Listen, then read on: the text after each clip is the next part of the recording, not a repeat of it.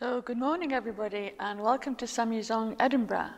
Actually, maybe I should say uh, hello rather than good morning, because um, you could be anywhere. You could be in, in a different part of the world and a different time. Um, so I'll just say hello. and uh, so we'll start our session. Uh, we're going to be continuing, actually, the four preliminary foundations. And um, we, we started with the first one, which was uh, about precious human life. And now we're going to be going on to death and impermanence. So, uh, also, these are called the four ways of turning the mind to Dharma. So, um, before we start the actual session, we should say the introductory prayers, which um, I, I was thinking we could be a little bit more ambitious, because this is a good way to settle our mind and kind of uh, attune it in the right way, the, the, the good way to be receiving the Dharma and, and attuning ourselves to the lineage. So we can say the prayer to the Buddha, Dharma, Sangha first, the three jewels, and we'll say that once in English and then twice in the Tibetan phonetics. Then, um, now, when you've been in, in, in previous uh, sessions, you've probably heard me mumbling something in Tibetan, which that is the prayer to the Lama, to the root Lama. And so I think it would be nice if we all could say that. So you, are not just sort of uh, excluded from that one. It would be nice if everybody said that. Um, if you don't have someone that you think of as your root lama, then you can just to whichever lama you know you, you receive teachings from, or you can you can just um, visualize the Buddha. You know, the Buddha is also the lama, and the lama is also the Buddha. So, so you can whichever is most appropriate for you. And then we'll, we'll carry on and, and say the lineage prayer, which uh, we, we did last time, and it was also known as the Dorji Chang prayer or the Vajradhara prayer, but Dorji Chang and Vajradhara are one and the same. Vajradhara is Sanskrit, Dorji Chang is uh, Tibetan. But basically, uh, they, that means the, the primordial Buddha, the mind of the Buddha from, from which all Buddhas emanate and manifest. So, uh, and, and so that one is also in, it's recited in quite a, a, a melody, and as is the, uh, the Lama one. So, um, so you'll get this, soon get the hang of it. So I have great faith in you. Okay, so we'll start with the, the uh, refuge prayer to the Buddha Dharma Sangha. In the Buddha, the Dharma, and the noblest Sangha, I take refuge until enlightenment is reached. Through the virtue generated by the practice of generosity and other virtues, may I achieve Buddhahood for the benefit of all beings. O Sanjay Chotang Suji Chonam La Changcho Badu Dani Chapsunji Dagi Jinso Jipe Sanamji Dola Pinche Sanjay Parsho Sanjay Chotang Suji Chonamla Changcho Badu Dani Chapsunchi Dagi Jinso Jipe Sanamji Dola Pinche Sanjay Parsho and then the supplication to the Lama.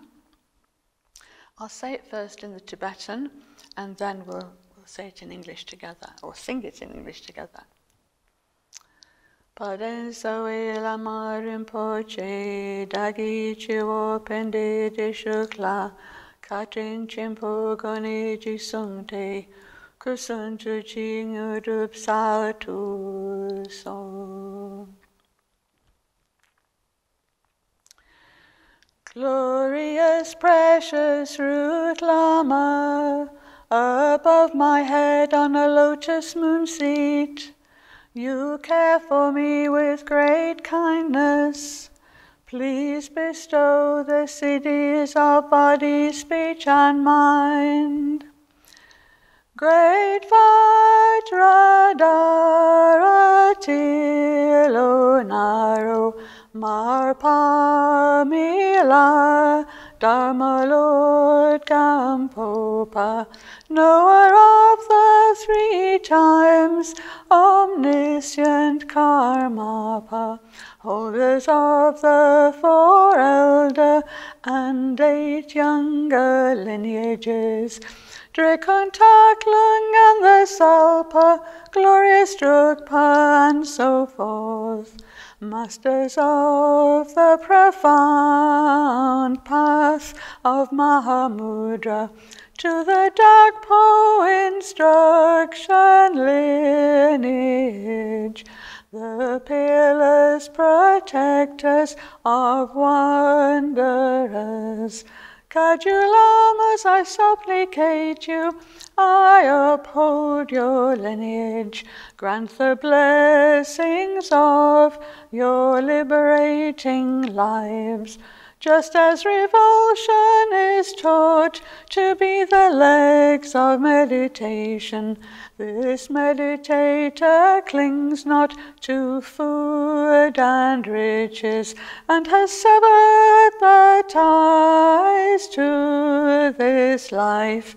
Grant your blessings for detachment from honor and gain just as devotion is taught to be the head of meditation, this meditator constantly prays to the Lama, who opens the vault of pith instructions.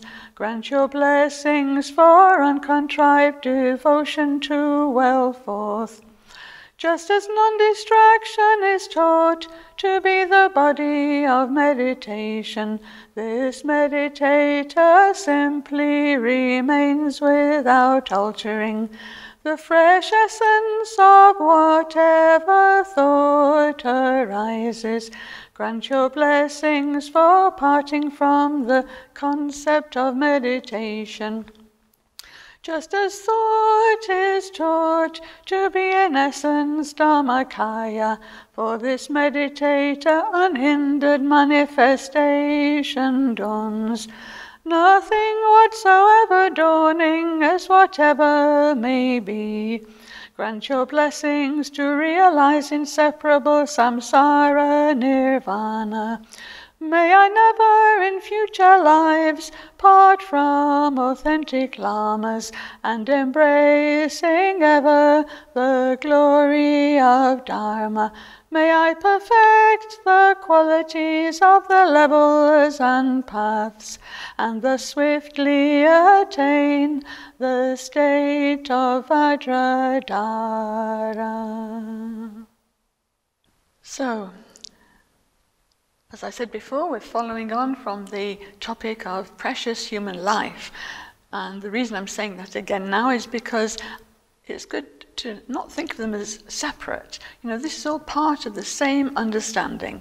So we're following on from precious human life, and now we're going on to death, change, impermanence, which is all part of the same understanding. now, it's said that impermanence, if you, if you only had one subject to meditate on, that, that uh, impermanence is the most important one. The Buddha himself said that. And so I think it's because it's so important for our understanding of life and death and everything in between. And also the fact that nothing stays the same it, we can see, doesn't it? Uh, everything is constantly changing, and whatever was born will die. And we, we all know this, don't we? We do know this, and yet somehow we still don't have don't really take it on board. It's as like it's as if we, we expect things to last forever. We we live our lives as if they're going to last forever, even though change is all around us. And so, we, because of this expectation that we, we all seem to have, I think this is why the Buddha considered it so important to, to bear in mind impermanence. Because if whatever expectation you have, any kind of expectation, you're kind of going to have a disappointment because nothing really happens the way you may expect. Or if it doesn't happen the way you expect, then, you, then you're disappointed. Or even if it happens the way you expect one time, the next time it won't. So it's, I, Lama actually once said to me a long time ago, best not to have any expectations, and I really think that's true. And the way to, to sort of get out of that habit, I think, is by meditating on impermanence in all its many, many different forms. So before we start properly, we need to, well, we do, we need to start properly by saying the, um, the root text, by reciting the root text. And because it's all part of the same thing, when you do, when you do your practice, whether we're together or when you're on your own, we should say the first one first and then the, the one that we're doing. So if we're doing the second one, then we say the second one, and the third one, the fourth one. So we'll say the first one, our precious human life, and then we'll say the one about death and impermanence, which is the one, of course, that we're going to be studying today. So first of all, we'll say it in English, and then we'll say it in the Tibetan phonetics. So the difficulty of getting a fully endowed human life. The first meditation topic concerns the precious human life endowed with every freedom and asset. It is difficult to get and can be easily destroyed. So now is the time to make it meaningful. And in the Tibetan, Tangpo Gomcha Dalcho Rinchendi Topka Jikla Tare Tanyercha. And secondly, death and impermanence. Secondly, the universe and everything that lives therein is impermanent particularly the lives of beings which are like water bubbles. The time of death is uncertain, and when you die, you will become a corpse. Dharma will help you at that time. Therefore, practice it diligently now.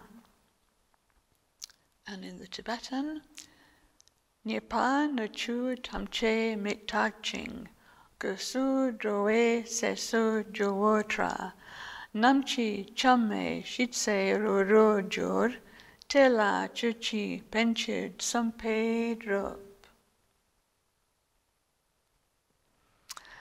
So let's have a look at this change, death, and impermanence. And as with the previous topics, it's sort of divided into different sections, and we look at the first section, which is looking at change and impermanence as it manifests outwardly in the universe. Or you could say the multiverse, if you want to be more um, accurate, because we don't only just have one universe, but there are many, many universes, most of which we can't see, but they do exist. Um, and so you can just bear that in mind. Even science is coming around to think of this now by, I think, inference. And, um, and so, think, or you can just think of all the planets, the stars, the Earth, which we know the best, but even that we don't know all that well. Um, Earth is our home, but all outward phenomena, all of them are subject to change. Now, it seems to us, because our life, we have a lifespan that's about, let's say, 80, 90 years, something like that. So it seems to us that the, the world is always here, the, the, the planets are always here, because they have a much longer lifespan than we do. But they still have a lifespan. They were still, they came into being, they were born, you could say, and they, they abide for however long they, they're going to abide for, and then they disintegrate. In fact, nowadays with, with uh, scientific um, uh, machinery and, and, technology, you know, we can see shooting stars, uh, uh, stars that have died, isn't it? They, they, are um, falling stars. So we, we do know that this happens, but the, the stars that we see, when we see a shooting star, it's sort of light years. It, it already is dead, probably. It's already, I don't, it's very hard to get your, your, your head around it completely, but, but I know that the stars that we see, when we see them, because they're light years away, actually we're looking at something as they existed many, many years ago. I think of it sometimes like, um, you know, if, for example, if you say you were um, one of those little insects that only has a few hours life, and so for, that, for those kind of insects, we must seem like we're eternal because we just carry on. We, we don't seem to change during their lifespan. And so for us, it's a bit like that with the planets. They don't seem to change. They look the same. The, Venus is still where it was yesterday. The moon is still where it was yesterday. And so we have this thing, this feeling that they're going to just carry on. But they don't. They're all subject to change, as of course are we. So think it's useful to, to sort of, you know, expand our consciousness in that way. And, and then also it helps us to, to see everything as kind of living and changing, you know, full of life and, and subject to dying, you know. And that also gives us more feeling of connection and respect for, our, for the planets, and especially our, the planet we're living on. So we know that the universe was born many eons ago, kalpas, if we say the Tibetan word, but, but eons, eons ago, and then it, it seems to, to, to abide, you know, from a point of view, and eventually it'll, it'll, it'll be consumed by the elements of water and fire and disintegrate and you could say destroyed, broken down into ashes and dust, ashes to ashes and atoms. So this is what happens to everything, whether it's a tiny insect, whether it's a massive, huge planet. It's the same. The, the pattern of, of birth and living and then dying is the same, and then rebirth. Because, of course, it doesn't disappear into nothing. We're not talking about some nihilistic view where things just uh, don't exist anymore. Everything is in flux, changing from one minute to the next. And so in, in, in, as something dies, and then the next, the next birth starts to, starts to form. The next things start to come into, into being again, and it, it's just continuous change. So, also we can think of time. You know, time is, is impermanent, isn't it? Time is constantly changing, never standing still. There's this inexorable flow. Um, from one, from one hour to a minute to another, from one hour to another, from one season to another. It just never stands still, day after day, month after month, year after year. The, the, the sun and the moon, the earth orbiting, and everything just constantly changing. In fact, I think we get our idea of time I'm not so sure time actually exists. I think in a way it, it seems to be like a man-made concept to sort of get a handle on, on, on something that is, is difficult to understand. And, and it's probably started with uh, you know, noticing night and day, which is in effect you know, the, the, uh, the Earth traveling around the sun and the, the moon traveling around everything just in orbit. But because we didn't have that understanding, then it must have seemed like, you know, just there's approximately 12 hours of light and then there's approximately 12 hours of dark, um, and which we call, we put this, this name on it, night and day. But actually what's happening is things are just going round and round. Um, so it's debatable whether time actually has an, an, independent existence. It's, I think it's a way of understanding what's happening, but that's just me. It doesn't say this in, in the text, I don't think. Maybe it does, I don't know. but anyway, this is the way I, I kind of understand it. Then also, you know, we have the weather and the environment, the climate. This is constantly changing. I mean, well, I'm in Scotland right now, so this is, we get constant reminders about how much the weather changes. It can change, go through all four seasons in, in one hour. But I think wherever you are, you know, you will experience dry season or wet season, or you know, you'll experience wind and rain and all of this. So we can see that the weather is constantly changing, and so is our, our environment. So the environment is, is because everything that's living changes. So so you, even it can be something that has a long lifespan, like a great oak tree or so, or a yew tree, something like that. Or you might have just a, a little flower that just comes into flower, and then within a, a month or so, it, it, it's finished until the next year. Or an oak that, that's lasted for many, many of our lifetimes, thousands of years could be, certainly hundreds. Yew trees uh, can go on for like, I think there's some that are about 4,000 years old, so that's way beyond the life of even Shakyamuni Buddha. So, uh, you know, great long lifespans. And so, um, but eventually, you know, things do die off or change. They just change. I was just thinking then of yew trees, because what happens with yew trees and banyan trees is that they, they do sort of die off, but they also put out um, terrestrial roots, and then so their life carries on. But but the, the, maybe the part of it, the original part died, and then it, but the same being just puts down roots, and then and then there's more, and then it becomes like a forest of banyan trees. I've seen this in in places like Bali and, and India. It's quite amazing to see all this going on and very inspirational. So, and, and I think, you know, with human life, it, it's also like that. But anyway, we'll get onto human life in, in, a, in a moment. But uh, the point is to, to notice, I think nature is such a great teacher, and you can, you can really see the way things happen if we pause to, to look.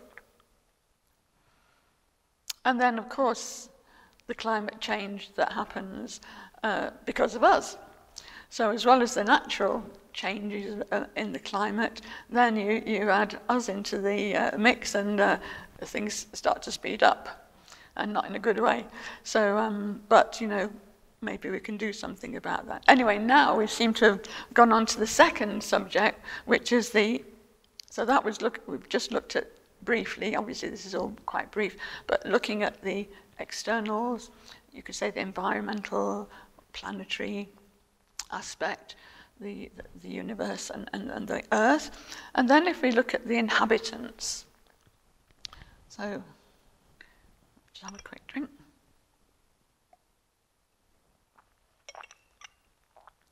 So all the inhabitants that live. Let's talk about Earth because this is what we know. We're not sure about the other planets. It could well be that there are life forms, but we, we better talk about what we, we, we can see. So if we, if we think about Earth, all the beings that are born on Earth, the ones that are born on Earth, they, they will, they will live for whatever their lifespan is, and then they will die. And as we were saying before, different different creatures have different expectations of life, or you know what can, of course, it's something you might die unexpectedly, but but you know for um, certain insects, like we say, some might live just for a few hours or a few days, maybe a week.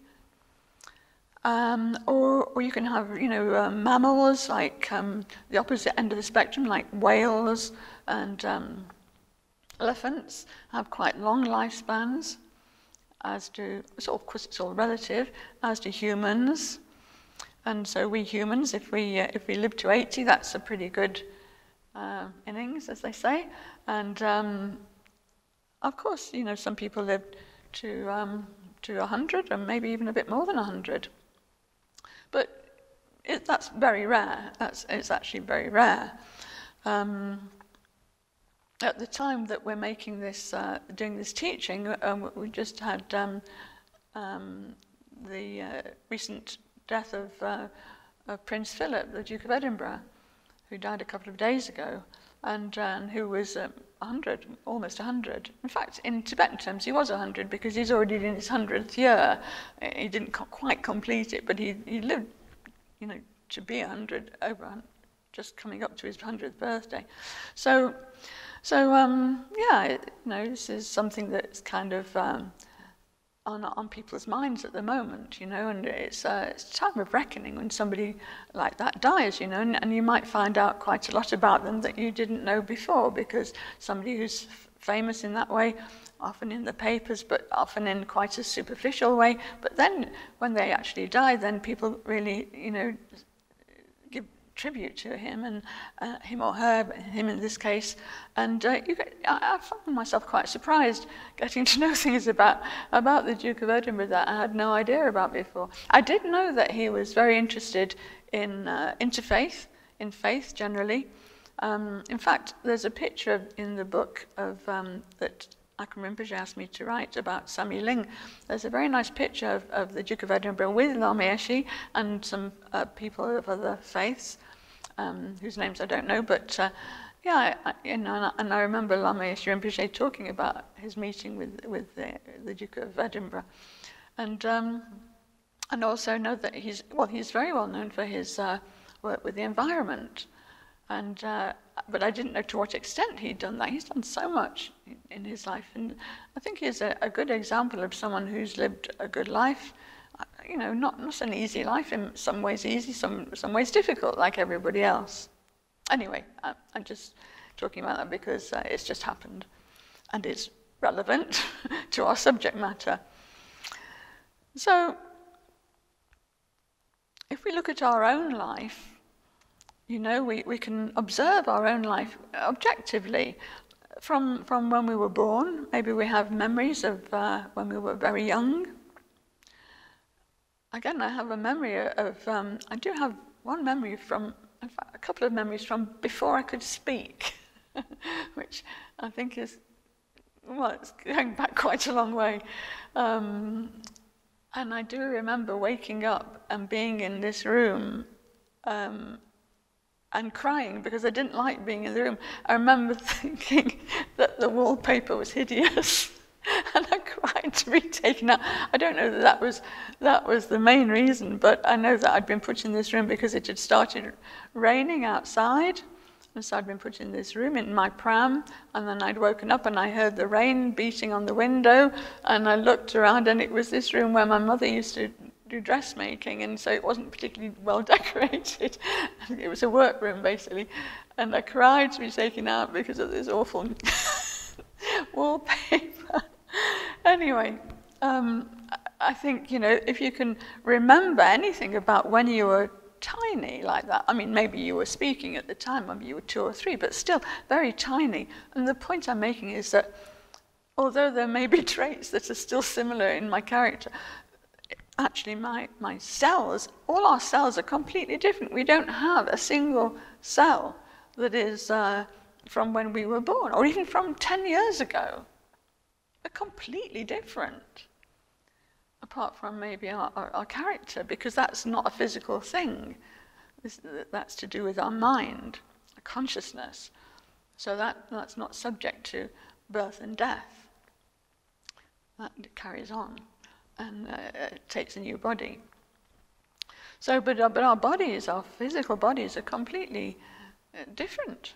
And of course, they look different. So, from being a little baby that big, and now we're, we're you know, we're tall, and we, we've gone through, or we're going through, however old you are, you're, you know, been a teenager, and then an adult, and then coming into middle age, and then old age. And then, you know, in fact, from the minute we're born, we're, we're getting closer to, to death, aren't we? So even, even from being a tiny baby, you know, you add on the days, and then when you get to a ripe old age, of sort of over 60 or something like that, then you're definitely coming sort of towards the top of the hill. Maybe they call it over the hill, but I don't think that's, I don't subscribe to that view myself because you can you can still be very bright and you know inquiring mind. I think if you have a young mind, then you can stay young in that way. Never mind what the body is doing.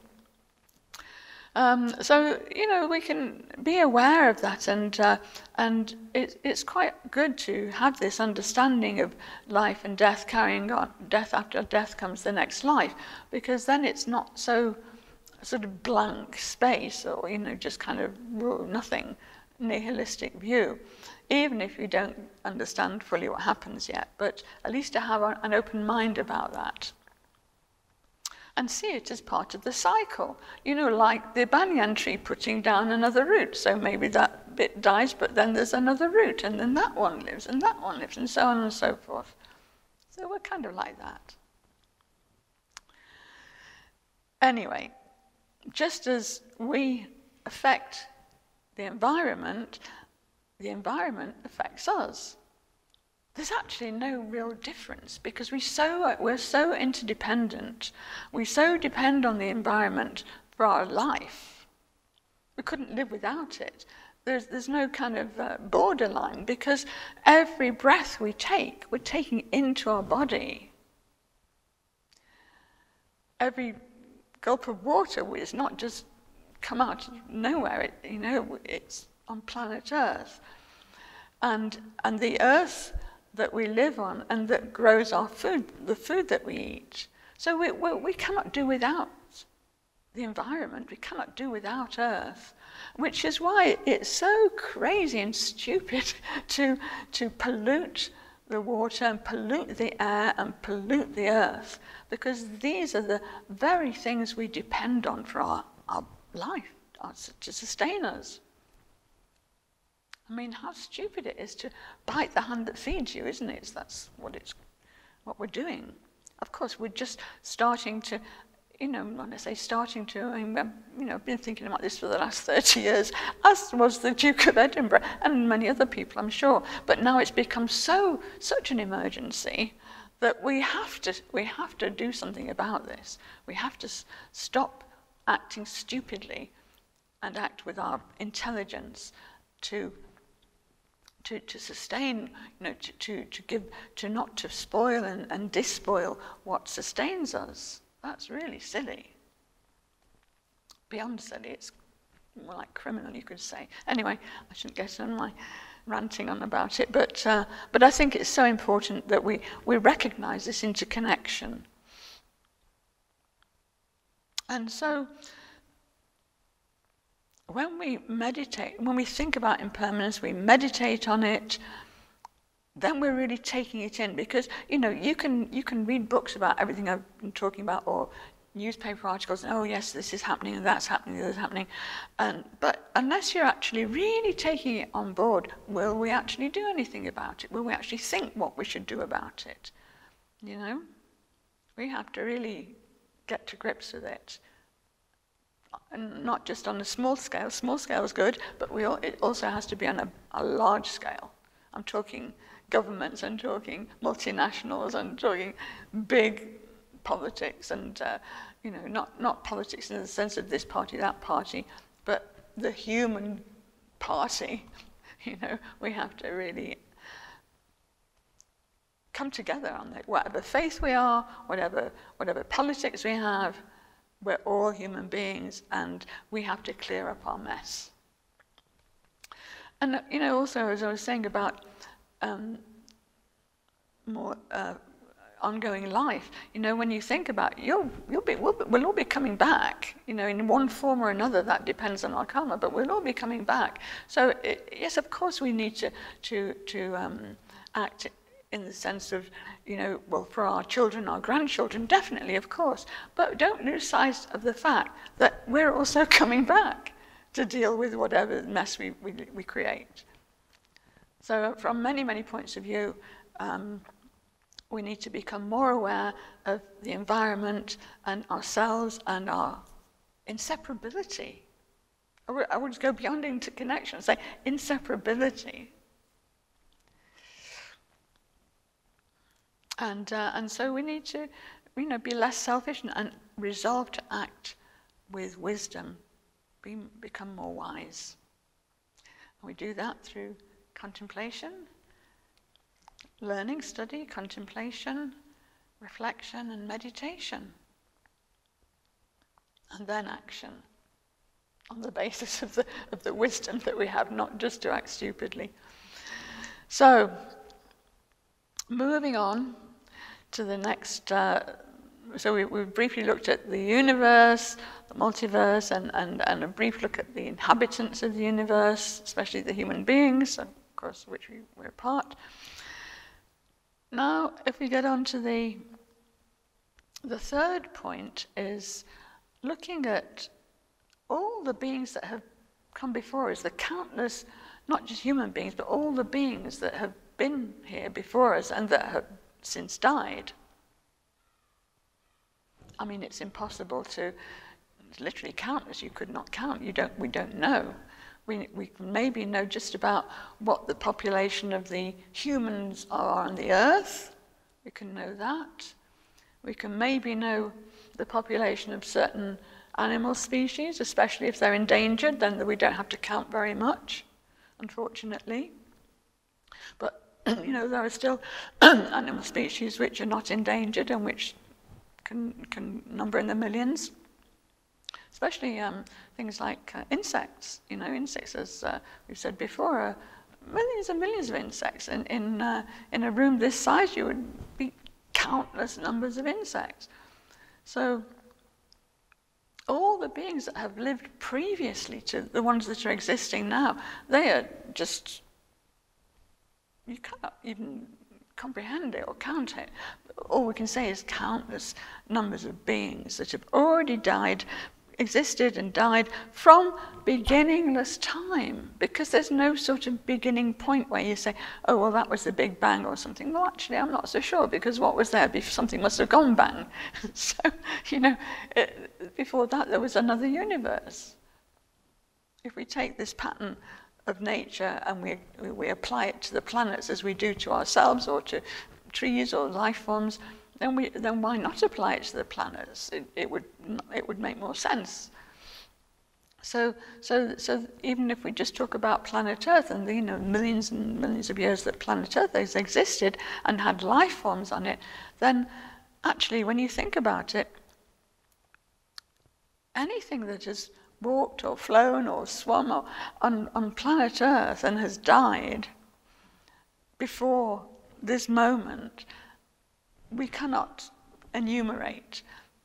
But you can say almost that we're, we're walking on them. You know, the ones that have died, they've gone into the earth, or they've gone into the water, or they've gone into the air, or they've gone into, they've just disintegrated and gone into dust, and, and then, you know, like that. And so we're actually walking on our ancestors, you could say, respectfully.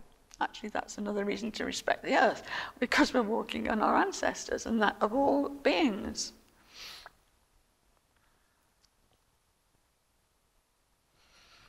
It's great, isn't it? We're recycling, actually. This is, we, we, actually recycle.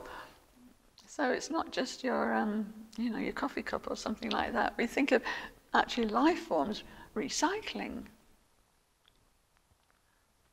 All beings that are born will die. They're born, they hang around for a while, and then they die. So even us humans, with all our medical resources and, you know, great knowledge of, of, of, our, of, of medicine and bodies, we're still constantly changing and we don't know when we're going to die. And, and it's, it is still quite rare to, to reach the age of 100. Our body is constantly changing. And it will carry on changing until we die. But we don't know when that's going to be. And it may not be that we, we, we get to 80 or 90 or 100. We may, we may die tomorrow. We don't know, do we? I'm sure you'll probably know people younger than yourself who have already died. You may know children that have died. I, I, I know children that have died, but children that I've been quite close to that have died. And of course, you learn, you know, you read about children that die, or teenagers. You know, so it just means that we don't know when we're going to die. We only know that we, that we will sooner or later. Or we, we might die quite suddenly. You know, maybe we have a car accident or something, or we get suddenly ill. You know, right now, as we're filming this, uh, there's a pandemic happening. There's a lot of sickness and death around the whole world. Life becomes very uncertain. You know, it, it always is uncertain, but right now it's kind of staring us in the face. And there's something to be learned from that, isn't there? There always is when something is happening which is, which is can be tragic or unpleasant, but at the same time, it's natural. Death is natural. It doesn't make it easier, you know, in a way it's, it's difficult to come to terms with because we have this expectation. So when it happens, we always seem to be taken by surprise. But if we if we have if we have some consciousness of death, then it doesn't surprise us quite that much because we have some feeling of preparation. We have an understanding of it. It's not like, oh, you know, it's, uh, of course, when somebody close to us dies, it, it's, we grieve on it and we mourn and, it, and it, it's never wanted. But at least if we have some understanding of the cycle of life and birth and life and death and birth and life and death, then, then at least we have some kind of um, realistic way of looking at things, you know. We look at nature, we're part of nature.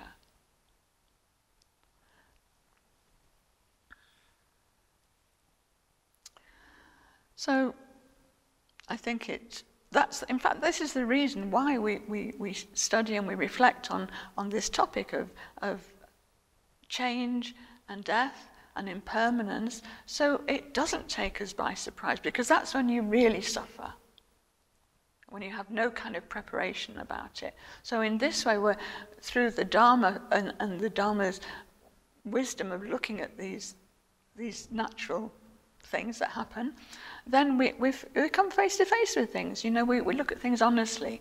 And so when they happen, yes, we're still affected, of course. We, we have hearts, we're, we're human, you know, and, and animals are also, I, am sure, feel certainly the, the uh, animal, you know, you've maybe seen elephants mourning for a, a, another elephant that's just died. You know, so we, we have these feelings. And, but if we're prepared because we see it as a natural thing that's happening, then it, it really helps and, and we suffer less, I think. We still grieve and we still mourn, but, but we're not so unrealistic. So we might just die suddenly. You know, the, the upside of this is that it can also give us such great appreciation for life isn't it? That's, that's the upside. And you've heard people during this pandemic say, you know, the ones that have been ill and, and maybe come close to death, but that survived, and how they feel this kind of renewed sense of appreciation. I've, I've been okay in the pandemic, but I have had malaria, and I did come pretty close to, to, to dying, I think, at, at one time. And I remember feeling afterwards renewed really renewed, and it, and it made a huge difference to my life at that point. It was a big turning point for me. I, I think that's probably true for a lot of people who've uh, come close to death. Of course, you might have come close to death and not known about it. I mean, sometimes, you know, the way we cross the road, uh, we, we, we, can sometimes take risks and somebody has to swerve. And, you know, if they didn't do that, maybe, maybe we could have been killed, you know. So yeah, so that's a, a reason to kind of make us uh, not fearful, but careful, you know. Look, watch what we're doing. Don't go around with your phone in your hand as you walk crossing the road. You see this all the time. it's just not aware. So we need to awaken our awareness, but not be kind of brought down by it. You're just looking at things honestly. And give thanks for, for the life that you've had so far and that you may have to come, but not to take it for granted. That's the thing, isn't it? Not to take it for granted because you don't know how long you've got. It might be your last day, or you might have another 10 years, or you might have another 50 years. We don't know. It's quite good to act as if as if you as if it could be any day in a way not, not to kind of bring yourself down but but just to sort of treasure it and make the most of it. That's why we look at these this kind of subject is not to, to wallow in in uh, morbidity but but actually to appreciate our lives and to make the most of them. And that's why there's really no no kind of division between looking at precious human life and death and impermanence. It's all part of the same broad understanding so rather than feeling sad at the thought of change and approaching death, we should use that awareness to, to let us, to, to inspire us actually, to, to make the most of our lifetime and to use it well for the benefit of ourselves and of others and of our planet if we, if we use our life well, then when we die, of course we're still going to die, but, but we'll die without regret. I actually think that, that uh, Prince Philip probably had a, lived well and died well. They just they didn't give any details. They just said he died peacefully uh, the other morning. Um, but you know, he worked hard at, at the things that he believed in and uh, did a, a, lot of good in, in, in, in his life. And I would have imagined that having lived that life very fully and, you know, been true to himself and what he believed and, and done his best to help others, he did a life of service, for sure. He wasn't perfect, I'm sure he had faults as well, but he did have a life of service that, that uh, did a great deal for interfaith and for the environment and wildlife. He started the Worldwide Fund for Nature. So, he, you know, I think he would have died without regret. I think he would have had a good death. You can have a good death as you can have a good life. In fact, the two kind of go hand in hand. The opposite is also true. if you have a, you know, if you do something really bad, then that's not going to be so good. But anyway, we, we, are looking at this to, to inspire us to, to make the most of our lifetime and to use it well and to, to, to, to help others. And in, do so, in doing that, we also help ourselves and the planet. So now, let's have a look at the causes of death, the different causes. We don't know how we're going to die, we don't know where we're going to die, or when. The only certainty is that we are going to die, and how or when or where will depend on our karma.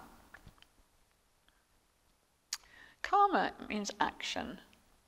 And so, according to our actions in this life, will affect the, our life, but also how we die. Now, I'm not going to go into it right now because the next topic that will be, uh, when we've finished talking about death and impermanence, then the next, the third of the, of the uh, preliminary foundations is karma, and it's a huge topic. So I'm not going to get drawn into it right now, but just to say that you know that it will affect the way in which we digest is because of how we're living and, and acting. Karma means action. Excuse me. So, in the text, for example, in the Torch of Certainty, it, it gives a list of uh, different ways. I'm going to read them because, uh, I mean, I could, I could sort of think of loads of, there's so many different ways you could die. But first of all, let's just have a, a look at the, the classical, the actual text that it, it uh, enumerates.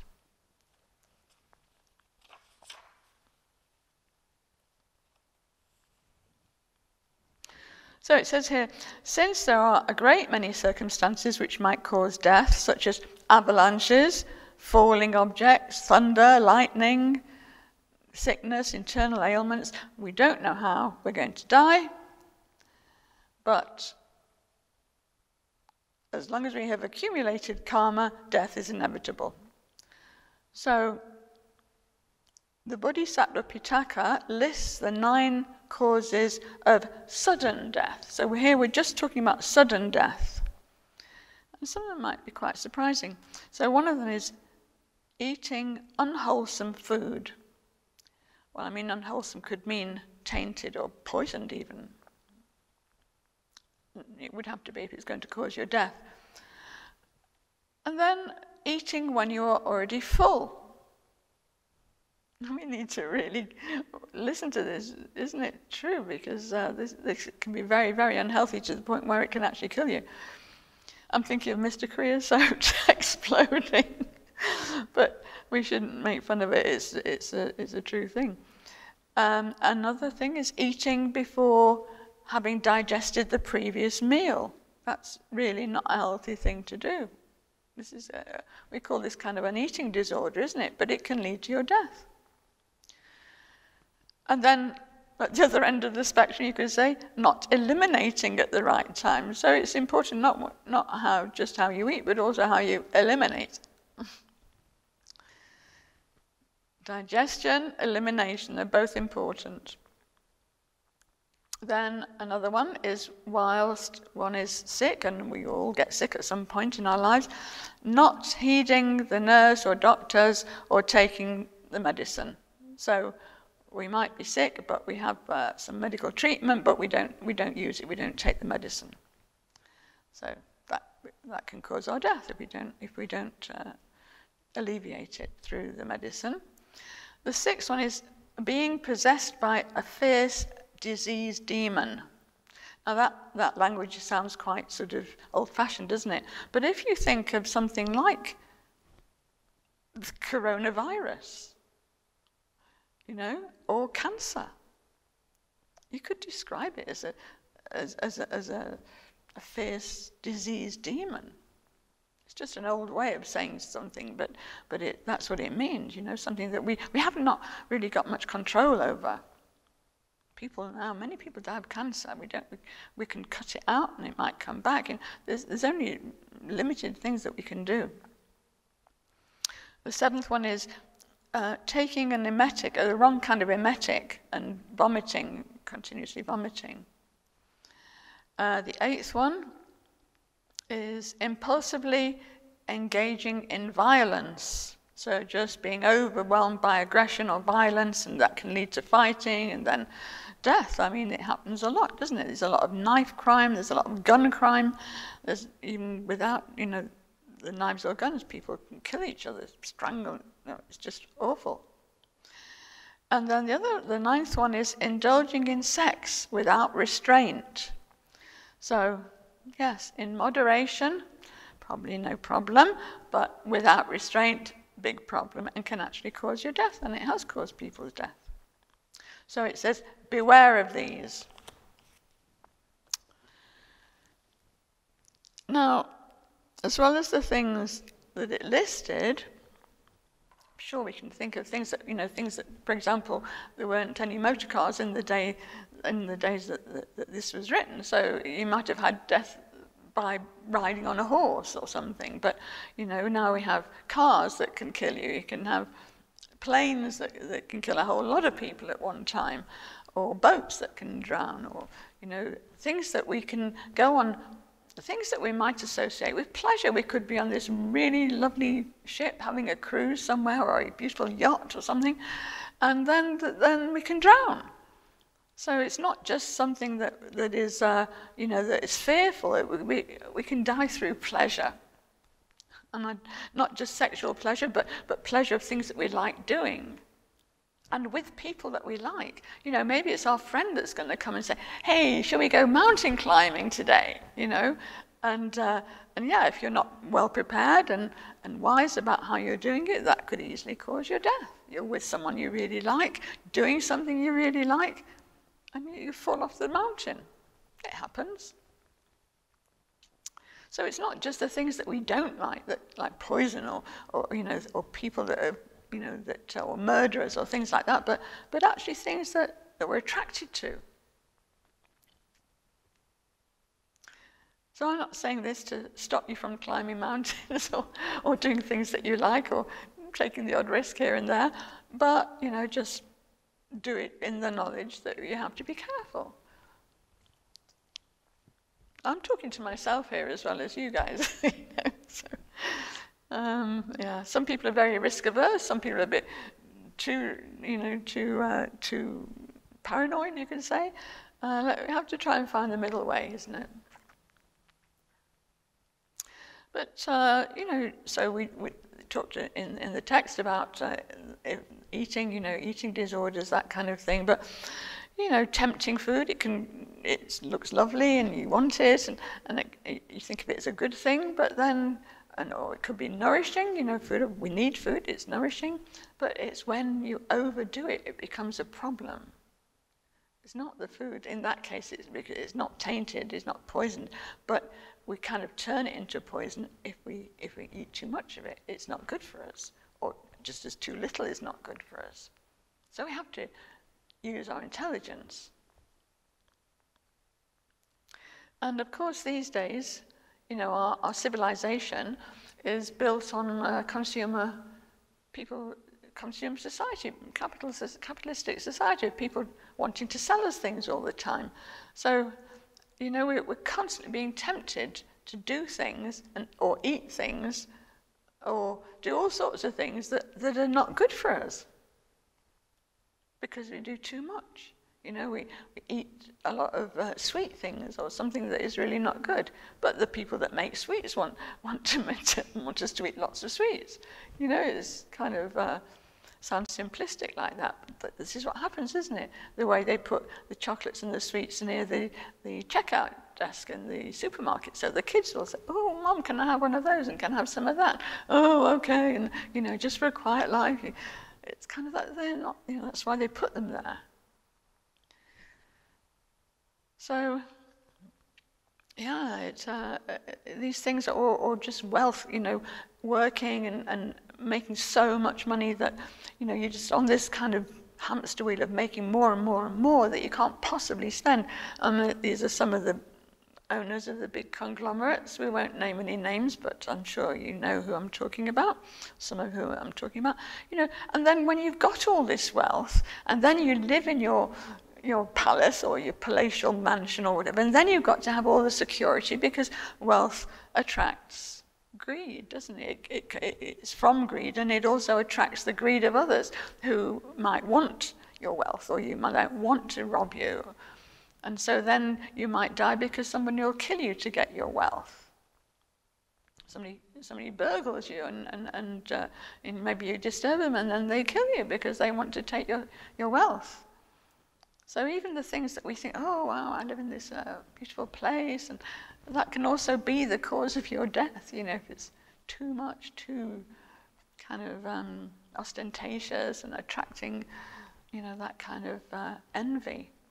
And yet, you know, you go on the in- internet and it's full of people wanting to attract envy, you know, make people jealous of them. I mean, why would you want to do that, you know, showing off everything, you know, so that it makes people envious of you? Not great, not very bright way of going about things. So, yeah, you, you know, you can cause people to commit crimes in order to, to take things from you. Anyway, suffice it to say that there's a lot of different kinds of, of um, death, uh, of, of, of, ways of dying, and uh, not all of them are seemingly un- unpleasant. Some of them things look pleasant, look things that you, you like doing or you like having, but they can eventually, if, if things are taken out of proportion, if they become too much, I think that's when it starts to become dangerous for yourself and for others. So it bears looking into because you know not everything is always as it seems to be. And uh, the opposite is also true. Some of the things that, that you maybe don't like can, can actually be quite good. Uh, like medicine that you don't like the taste of, but it can maybe can cure you. You know, so there's all sorts of things that you have to look be, below the surface and and uh, like and below likes and dislikes, you know, it's not really to do with likes and dislikes. So um, I think we're probably I don't uh, enough talking on all this. I think I'd like to. Um, to sort of reflect on it all. There's quite a lot. We've talked about the universe, the outer world, the environment. We've talked about the inhabitants of the universe, especially about human beings, but not only, all the different life forms. We've talked about the countless type of beings that, and, and, and numbers of beings that have died.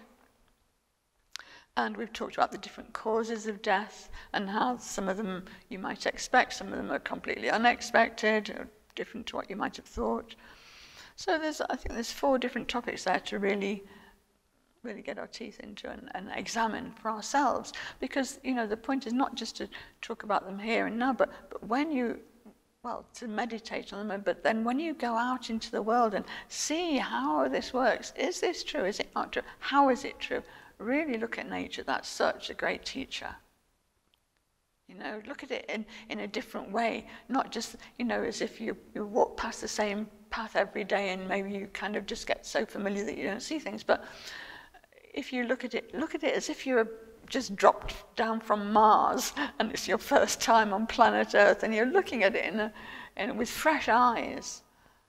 Or like a child looks at things, you know, wow. And you know, sometimes I get down and look at, at a child's level and you look at small things, you know, or big things. It can be anything. You look really at, a leaf, turn the leaf over, look at all the veins on the leaf, see how it is, you know.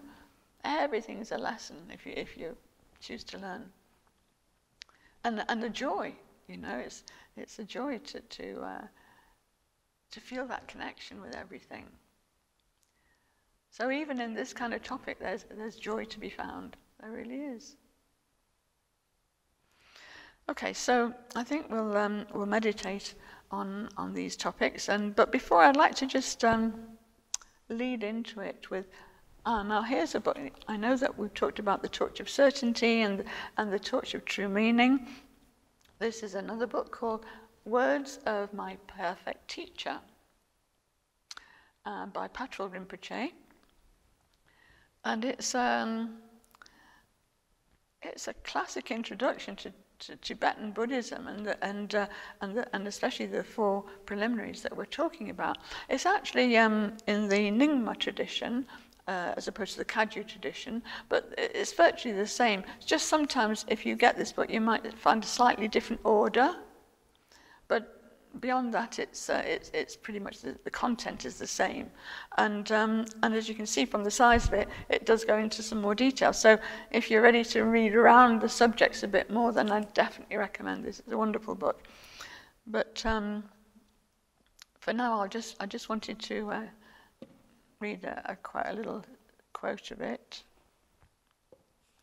that's relevant to, oops, to what we've been talking about, and then and we'll use this as the guidance for our meditation. So I'll just, so first of all, you know, we just uh, take it on board, and then we'll meditate on it and on everything that we've been talking about. So this is this is from the Buddha. This quote is from the Buddha. The Buddha said, to meditate persistently on impermanence is to make offerings to all the Buddhas. To meditate persistently on impermanence is to be rescued from suffering by all the Buddhas. To meditate persistently on impermanence is to be guided by all the Buddhas. To meditate persistently on impermanence is to be blessed by all the Buddhas.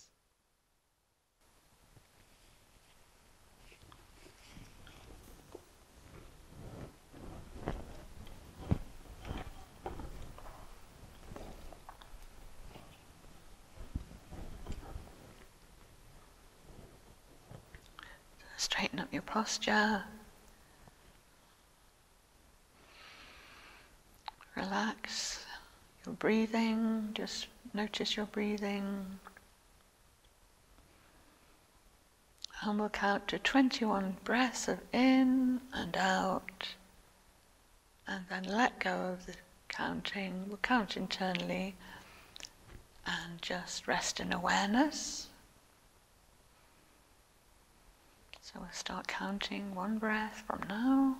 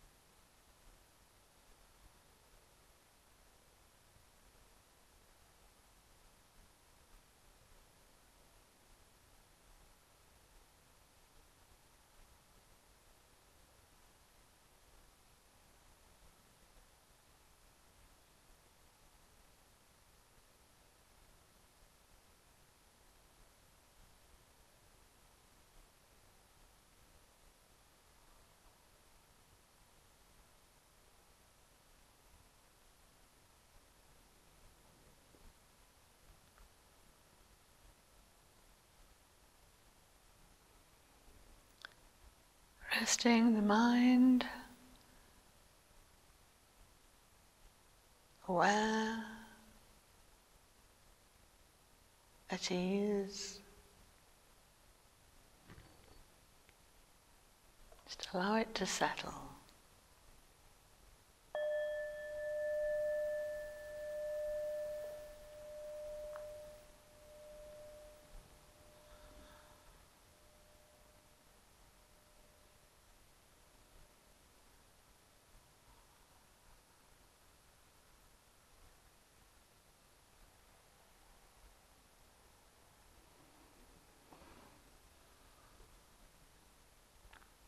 And when thoughts start to surface, start to arise, turn your mind to the topic of death and impermanence, and especially the first part of that, reflecting on the universe, the world, the planets, the earth that is our home, all the phenomena that are subject to change.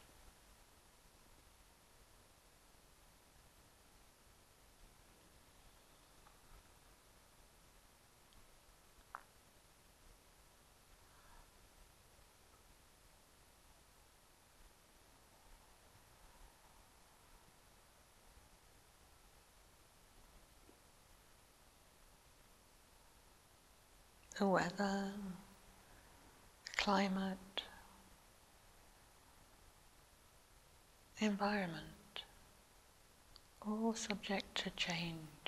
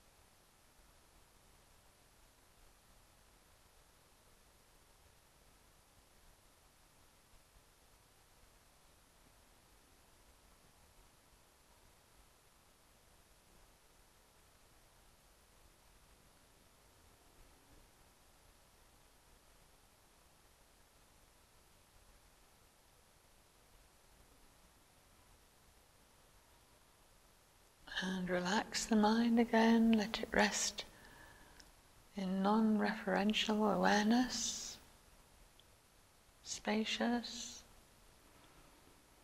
peaceful, just resting.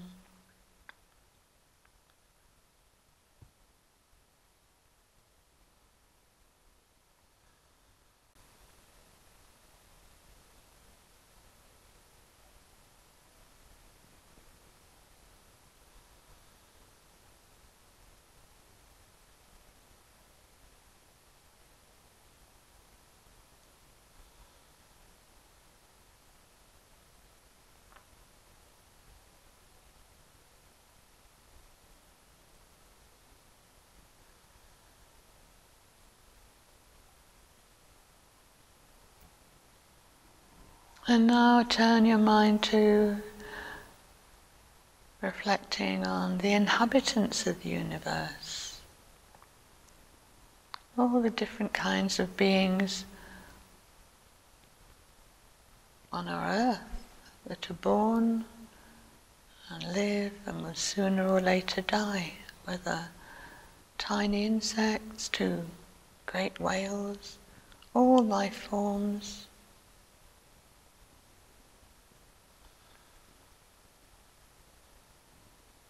Including our own.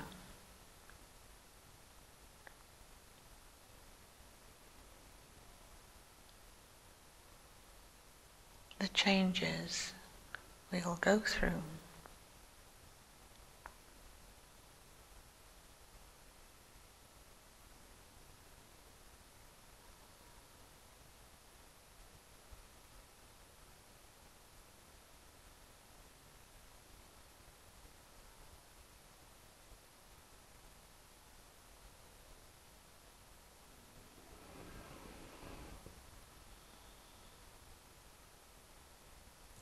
Our interconnection or interdependence.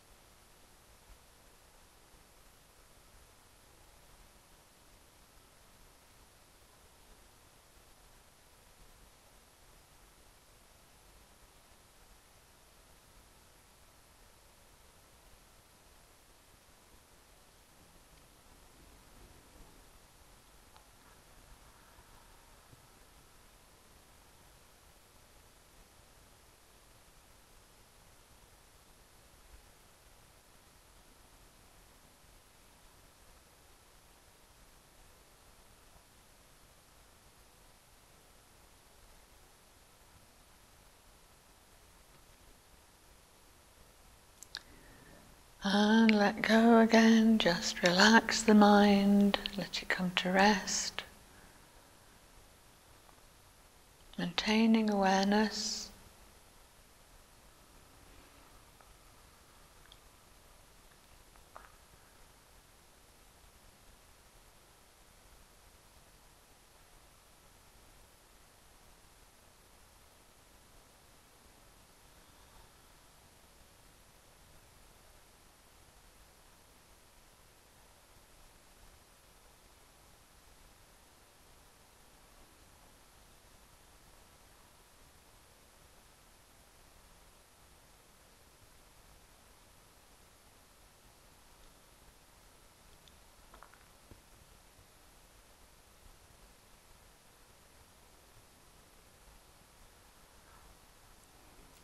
And now let's reflect on the countless beings who have lived on our planet and who have since died. Countless beings that have died from beginningless time.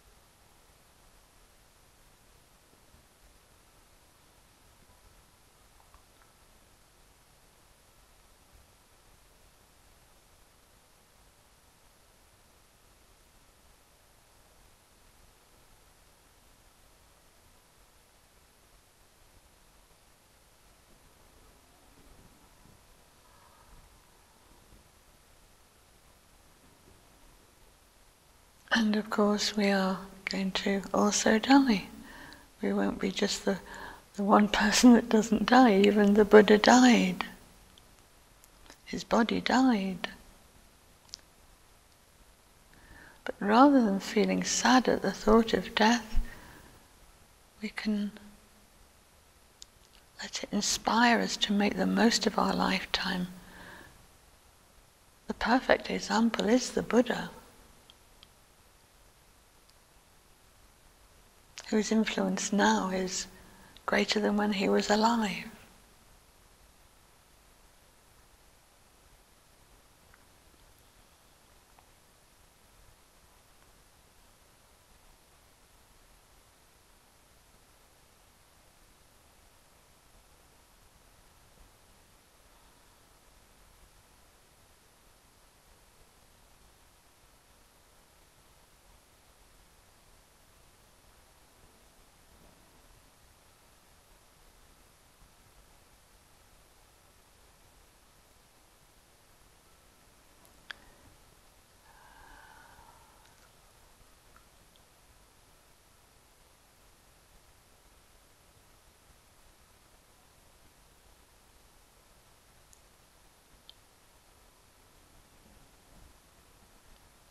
And then the fourth subtopic is about the many causes of death.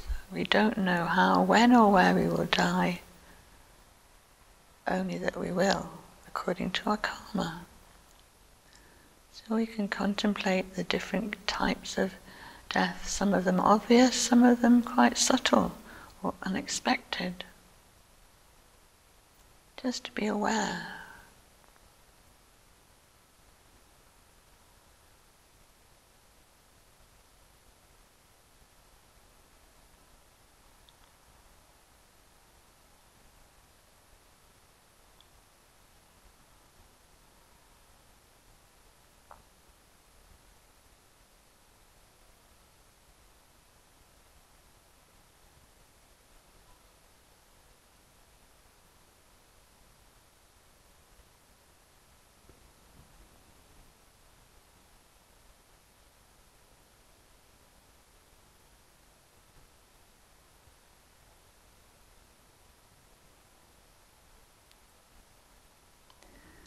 And then let the mind settle again, relax, letting go of the words, the thoughts, reflections, just resting in awareness,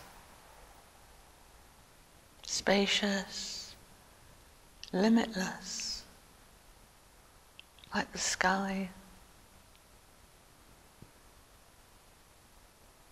No boundaries, no limitation.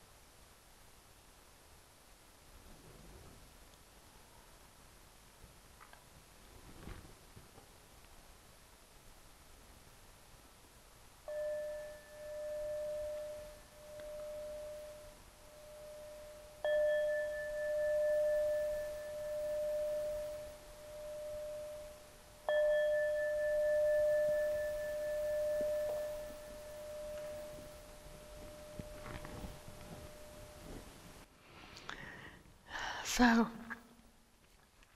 what we did there was we, we kind of did um, all of those four subtopics. We meditated just, it was a kind of like a whistle stop tour.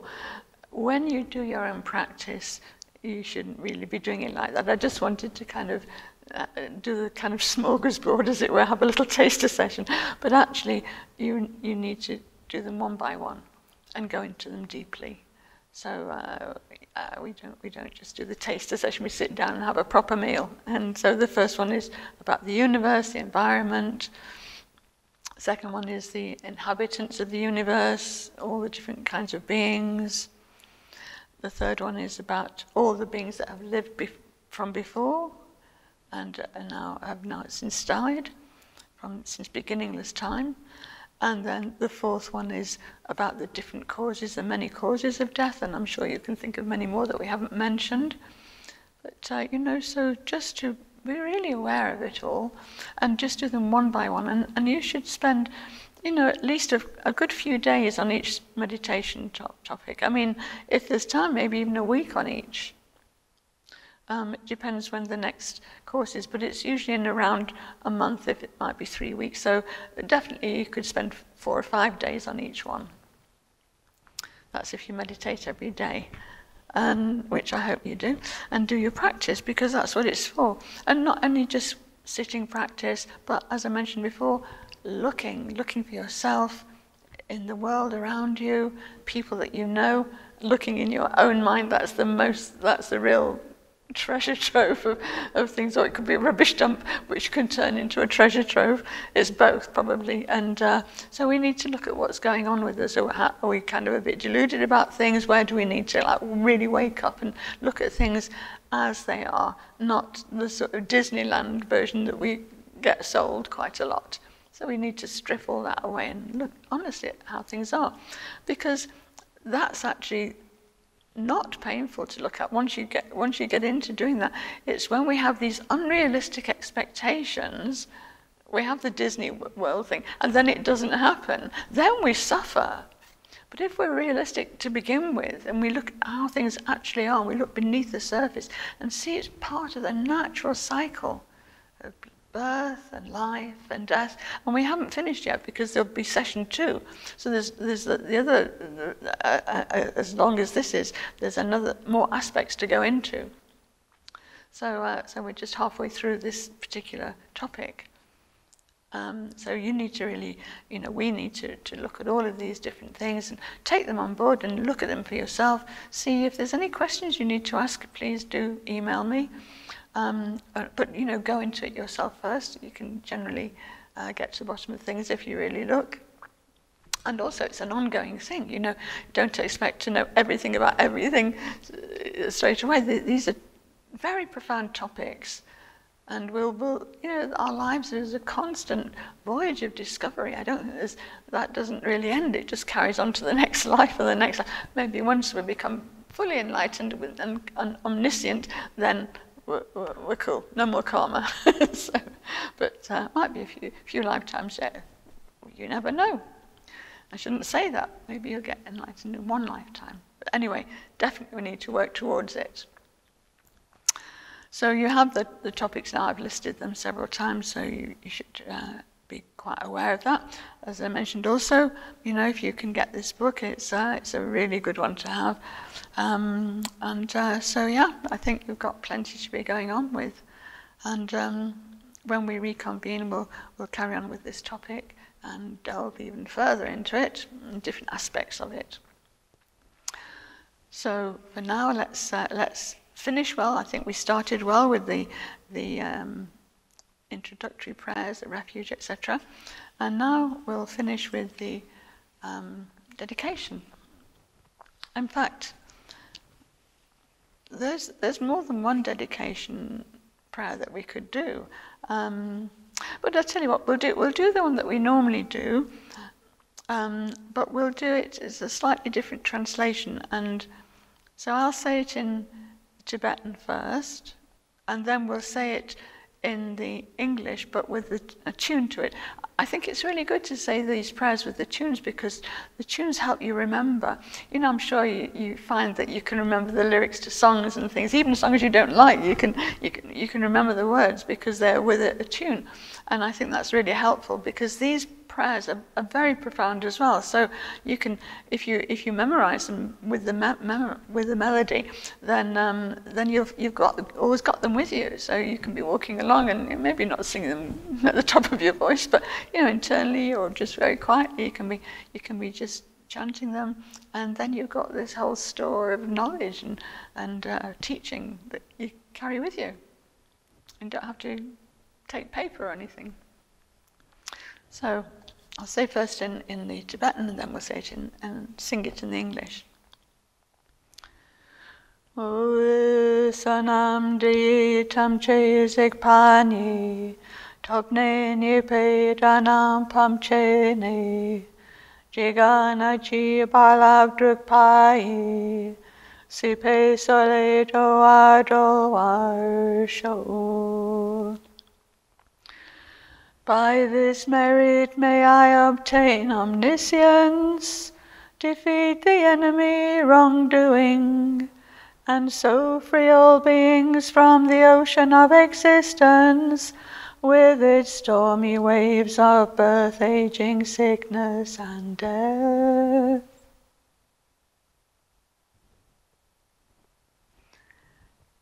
Okay, so that's it for today and I wish you well and uh, good practice and joyful living.